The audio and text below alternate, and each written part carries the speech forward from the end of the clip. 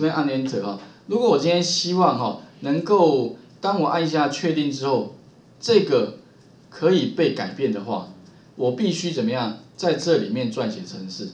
那撰写程式基本上流程是这样：第一个，先让程式知道这两个的位，这两个东西在哪里，所以必须怎么样呢？把这两个东西就是在这边先做叙述。哦，我啊画面上有两个东西，一个是那个 test view，一个是一个是一个 button，对不对？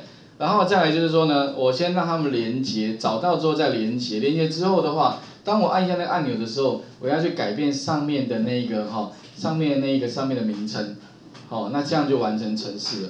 所以基本上我想各位哈，等一下先大概了解一下，其将来往后你们会跟这个呃这个我想每天都会用的哈，所以基本上请各位务必要熟悉。那第一个先把这个画面先更改，第二个的话呢，打开 Main Activity，但也你要不要不要急着哈，马上知道太多，反正你就是稍微观察一下这个 Package，我想前面有讲过套件对不对？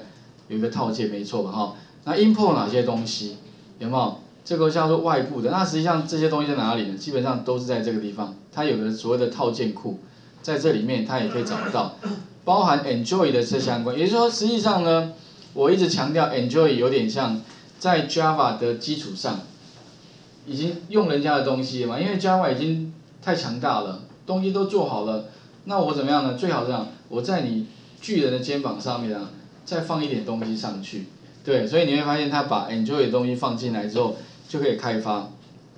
那他加了什么？Activity，好，所以其实基本上就是利用 Activity 来运作。那等一下我们再来看哦，怎么样设计？这个当我点击它之后，改变这个这个里面的字，其实也非常的简单。好，你只要观念通的话，后面要撰写程式都非常的容易哈。好，画面再还给各位一下哈，试试看哈。